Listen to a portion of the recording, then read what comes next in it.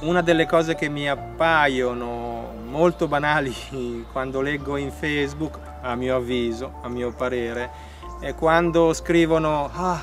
ma la gente, la gente non capisce, la gente non sa, la gente,